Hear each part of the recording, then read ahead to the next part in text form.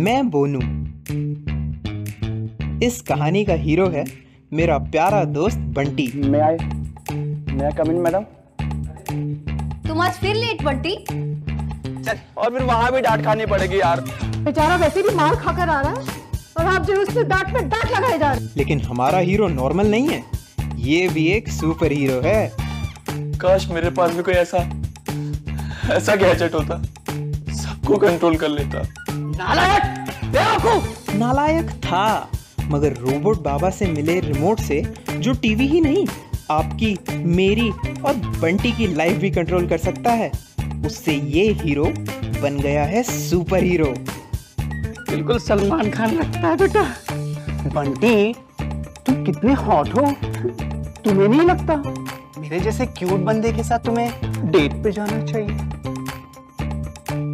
कहानी की तकदीर ने पलटा तब खाया जब हमारे सुपर हीरो की आँखों से एक राज का पर्दा उठ गया।